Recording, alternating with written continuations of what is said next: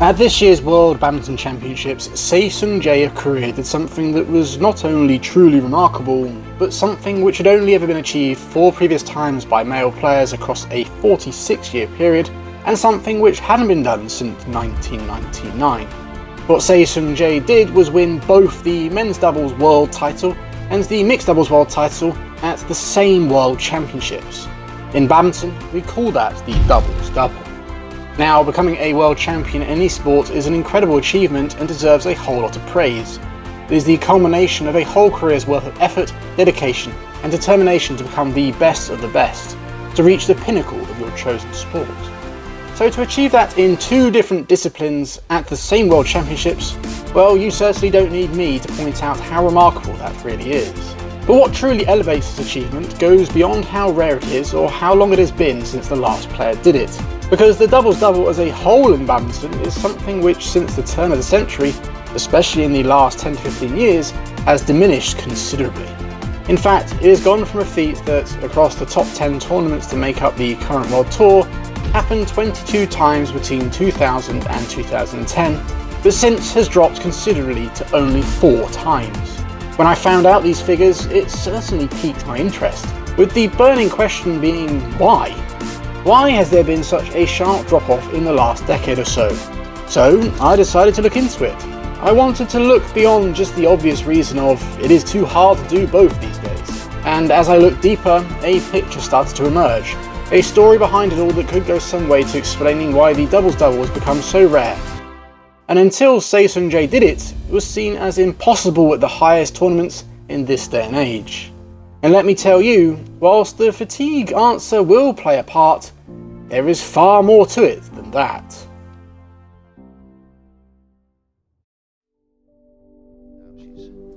I am starting this story in 1976, more specifically at the All England Championships. And I start here not because this is where the story necessarily starts, but to really hammer home a point. A point that, in the early days of badminton, it wasn't too uncommon to see players play all three events. And at these 1976 All England Championships, Gillian Gilkes achieved one of badminton's greatest ever feats when she won all three disciplines. That's it. What a tremendous day for Gillian Gilkes. The singles title, the ladies doubles title, and now the mixed doubles title. And that's three virtual world titles in one day. This was, and still is, a phenomenal feat. It is only one of two times in all of badminton history I could find where a player has managed to win all three disciplines at the same major badminton tournament. But like I said, this sums up the times, in the 1970s and from badminton before. You still had clear single stars and double stars, but more often than not, most of the singles players doubled up to either play doubles or mixed. For example, Rudy Hartono, an Indonesian legend who is most well known for the player who won the most All England men's singles titles with eight, also reached the final of the men's doubles at the All England in 1971. Liem Swie King, another Indonesian men's singles legend, was a two-time World Championship men's singles silver medalist. But in 1985 he also won bronze at the World Championships in the men's doubles. And it wasn't just Indonesian players. Morten Frost is a Danish legend regarded as one of the greatest players of his generation. He reached the final of the men's doubles at the 1984 European Championships. But this trend of playing all three was definitely more common amongst the female players. I've already given the example of Gillian Gilkes in her 1976 All England treble, but a year later, Lene Køppen of Denmark won both the women's singles and the mixed doubles at the same World Championships. As we moved into the 1980s, with it started the modern era of badminton. The BWF unified with the WBF, and all the current nations of today began competing in the same tournaments. But whilst this was a big change, what didn't change was the trend of players playing across multiple disciplines. In fact, some of China's top stars, most notably their women, were highly successful in both the singles and doubles events. Han Aiping and Li Lingwei are two notable examples. Between them, they won four consecutive World Championship Women's Singles titles. And in that time, they also reached two consecutive doubles finals as a pairing in both 1985 and 1987, winning the 1985 final. But getting back to the topic of both doubles events, in the 1980s the mixed doubles event was still seen as a bit of an extra. The singles events were generally the main star, then the levels doubles events, and the mix was something that if you were good at doubles then you could probably succeed at mixed too. But towards the end of the 1980s, something happened. Something that would change the entire landscape of badminton forever, and unbeknownst to everyone at the time, would change the course of the mixed doubles discipline. Venues, this is your first welcome to Seoul National University Gymnasium, scene of badminton. This year, an exhibition sport. In 1992, a full medal sport in the Olympics. In 1988, badminton was included as a demonstration event at the Seoul Olympics. This was huge for badminton, but it almost didn't happen as the BWF was asked to brunt a lot of the costs, something it wasn't willing and likely able to do. To get around this, the whole tournament was held in one day with limited participants.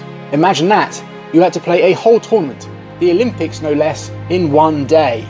Crazy. But anyway, whilst this is crazy, the badminton event was fortunate enough to go ahead, and with drawing in a crowd of 2,890 spectators, combined with the top stars of the time participating, it was seen as a success. It must be noted that it had already been decided by the IOC two years previous in 1986 that badminton was to be included on the full Olympic programme in 92, but the success of this one day Olympics for badminton certainly cemented that. And it's that decision that I feel is the first thing that changed the badminton landscape forever, and with it had an effect on the doubles disciplines. This change would not be felt for quite some time, and I will come back to it later in the video, but there was one change it most certainly made quickly, and that was the clear specialisation of singles players and doubles players. Do you remember how I started this video talking about players playing both singles and doubles? Well, once badminton became an Olympic sport, that as good as stopped. To show this clearly, in the 1980s at tournaments equivalent to Super 500 and above, 50 times players won two events at the same tournament. Of those 50, 17 of them were done by players winning singles and doubles. In the 1990s, this doubling up at the same level tournament happened 37 times. The number of times this was achieved through singles and doubles? Only once. Winning the singles and doubles at the same tournament went from happening 34% of the time in the 1980s to just under 3% in the 1990s. That was the immediate effect the Olympics had. But whilst it had an effect on singles and doubles specificity, it didn't have an immediate effect on mixed doubles specificity, and this was for the simple reason that at the 92 Olympics, mixed doubles was not included. The reason for this was that because tennis and table tennis didn't have mixed events, the IOC felt badminton shouldn't either. But regardless of this decision by the IOC, the Olympics created an even bigger divide between what it took to be the world's best at singles and the world's best at doubles. But this lack of effect on the mixed discipline was not to be unfelt for long, as by the 96 Olympics, things changed. At the 96 Olympics, mixed doubles was introduced, and boy did it have quite an immediate effect. As soon as the next year's World Championships, you started to see the emergence of mixed specialists. Liu Yong, Tri Kusharjanto, and Michael Søgaard are three very good examples. Well, I say specialists with a slight pinch of salt, it's not as if they didn't play doubles and weren't somewhat successful in that discipline, but their biggest successes and what they are known for today is mixed doubles. And why that's important to this whole story is that really they are the first players where this was the case. Before them, players, especially male players, weren't known as just mixed players, they were known as doubles players. Those three I just mentioned, mixed is where they saw the most success. Liu Yong was the 97 world champion, Trikus won the Olympic silver in 2000, and Michael Søgaard was a three-time world bronze medalist and a four times European champion. Now, of course, you still had some that did both, with the most noted example being Kim Dong Moon. He was a doubles-double legend, and almost did it at free will. But other than players like him, it was clear that mix was starting to split itself away from level doubles. It was becoming its own discipline that required its own attention, and so trying to do both and be successful at both was becoming increasingly difficult. With that being said, however, the doubles double was still as common amongst badminton tournaments as it had ever been. For mixed doubles to truly break away, there was something else that was needed, and come the turn of the century, that was about to happen. With one nation in particular really taking to mixed doubles and changing it forever. China, they are the powerhouse of badminton. And they have kind of been that since the start. Ever since they joined the BWF in the early 80s, they have been by far the most dominant nation, especially in both men's and women's singles events and women's doubles. The two disciplines where they weren't quite as dominant was the men's doubles and, as you might expect, the mixed doubles. Seeming as this video is based on a World Championship result, then let me use that tournament to show this to you. China first participated in the World Championships in 1983. Between those 1983 World Championships and the 1999 World Championships, this is how many medals they won across the five disciplines. Men's singles, 10. Women's singles, 25. Men's doubles, 7. Women's doubles, 17. And mixed doubles, 8. So from that, Whilst their mixed might have produced one more medal than their men's doubles, in terms of finalists they only had two in the mixed doubles compared to four in the men's doubles. But this point is kind of mute. I think it highlights enough that mixed doubles was one of the disciplines where China was not dominating. But that, as the new century rolled around, was about to change. It was in the 2000s that China started to truly dominate the whole badminton landscape, with this domination culminating with four incredibly impressive clean sweeps at major tournaments. The 2009 All England clean sweep, the 2010 and 2011 World Championships clean sweep, and the 2012 Olympic Games clean sweep. And to me, I feel a big part of this complete domination by China can be linked to them specialising in mixed doubles. In the 2000s, especially in their male players, you saw mixed specialist form, Players like Zhang Jun. Zhang was the first of China's mixed men from this time. He did play some men's doubles, but quickly became a mixed specialist. He won two consecutive Olympic titles in 2000 and 2004, a world title in 2001, as well as three All Englands. From Zhang Jun sprung others like Xie Zhongbo, Zheng Bo, He Hanbin, and Zhang Nan, who in the 2000s and into the 2010s continued China's success in the mixed doubles discipline. This specialisation is something that is still going very strong today, with players like Zheng Siwei, a three-time world champion and 2020 Olympic silver medalist, Wang Yilu, the 2020 Olympic champion, and even newcomers like Feng Yanzhe and Jiang Zhenbang only focusing on the mixed doubles discipline with plenty of early success. What this specialisation and domination by China in the mixed doubles discipline did was force the other nations to have to focus their efforts too. Now, I'm not saying that China were the only ones doing this, Indonesia were another nation highly successful, and so were Denmark. Funnily enough, the three nations from which those original male mixed specialists I mentioned earlier came from, the reason I mention China more than the others is because not only did they produce the most mixed specialists, but also since the turn of the century they have produced the most major champions. Using the World Championships as my reference point again, since 2000s there have been 17 editions of the World Championships. China has won almost half of the mixed titles with 8. The next closest is Indonesia with half that at 4. What all this means and the point I'm trying to make is just like in the early 90s where you saw a clear divide between the singles and doubles disciplines form, throughout the 2000s and into the 2010s you saw the same with level and mixed doubles, with both events becoming more and more specialised to a point where trying to succeed at both at the same time became almost impossible. This can be clearly seen in the stats too. In the 2000s, across all 30 tournaments that make up the current World Tour, the doubles double was done 79 times. In the 2010s, across the same 30 tournaments, that number more than halved to 38. Now, 38 may still seem like quite a high number. You might be thinking that really doesn't prove my point. But when you look at only the highest level tournaments, then the figures become even more stark and apparent. If I take just the top 10 tournaments, the World Tour Super 750 and above, then in the 2000s the doubles double was done 22 times. That makes up 28% of the total across all 30. In the 2010s, at the same level of tournaments, the doubles double happened only 3 times. From comparison, that is only 8% of the total across all 30 tournaments. What this means is that whilst doubling up may have been happening a fair bit across all badminton tournaments, at the very highest level of badminton, it was hardly happening at all. Now, in my opinion, China has played a pivotal role in all of this. There's also another huge factor that I need to address. It is the one I mentioned earlier, and it underpins everything that I have said, as well as gives context to some other reasons for this change. And that is the Olympic effect.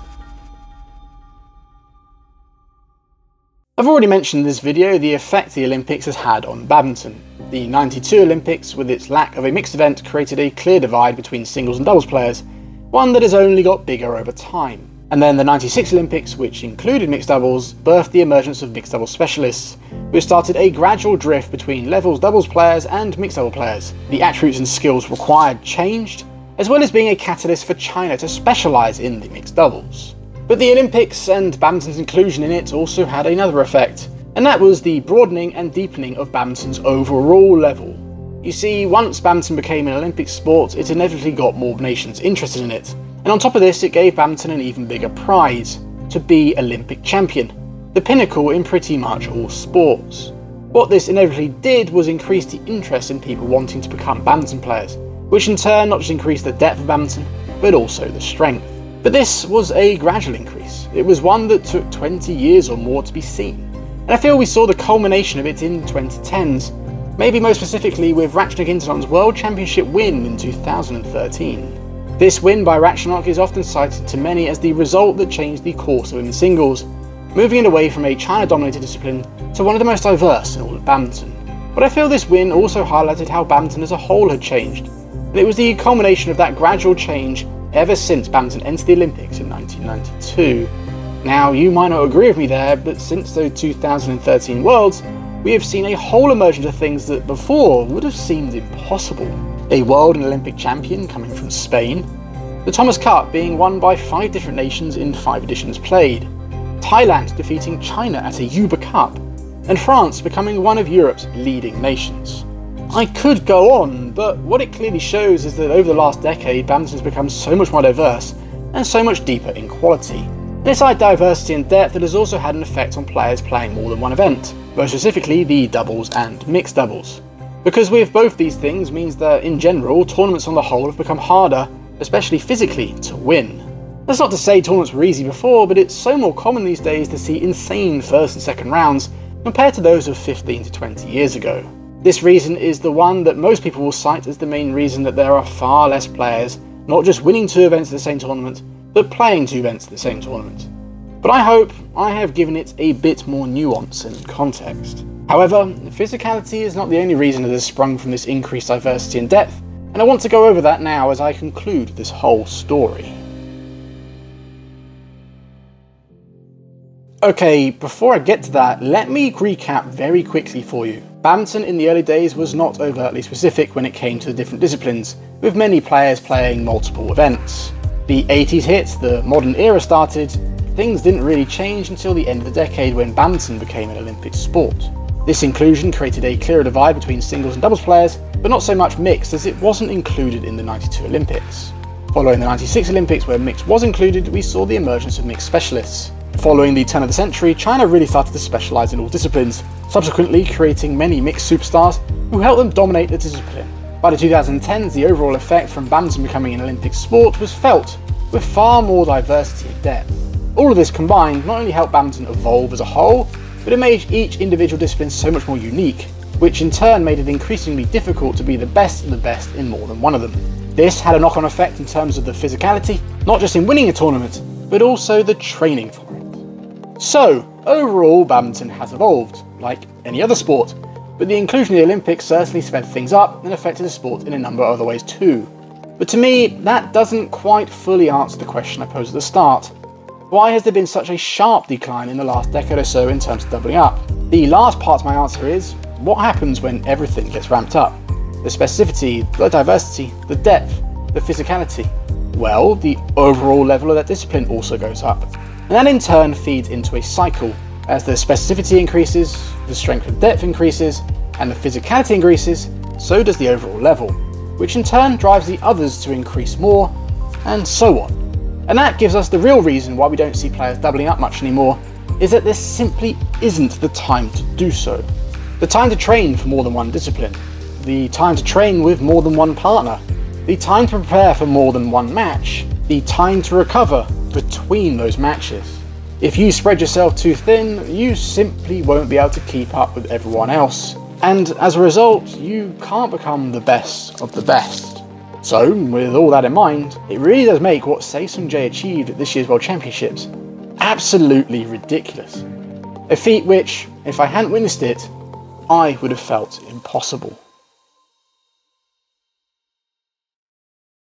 And that's it for yet another video. A bit of a different one this time, with a topic that I understand could have differing viewpoints on. With that being said, feel free to get in the comments and let me know what you think. Whether you agree or disagree, doesn't really matter. Now, I know it's been a little longer in between uploads this time, but moving forward, this is going to be the norm. I will be uploading videos every two to three weeks with much more of a focus on quality over quantity. I hope you can understand and will continue to support me. If you like what I'm doing here, then please feel free to subscribe and also hit the notification bell so that you are notified of when my next video comes out. Until then, feel free to watch more of the videos I've already created. Two of them are right here. Until then, everyone, I'm Ben Beckman.